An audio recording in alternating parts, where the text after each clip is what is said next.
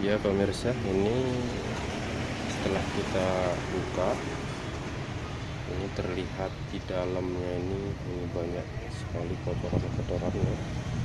inilah yang membuat daya panas mobil itu semakin bertambah dikarenakan akibat penyumbatan-penyumbatan kotoran yang terjadi di sel-sel radiator yaitu lazim kami sebut pipa siripnya ataupun sarang laba-laba seperti ini.